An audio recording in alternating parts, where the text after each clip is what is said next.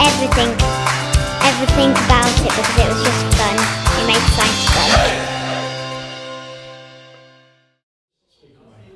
We find the data loggers really useful because the children really enjoy using them.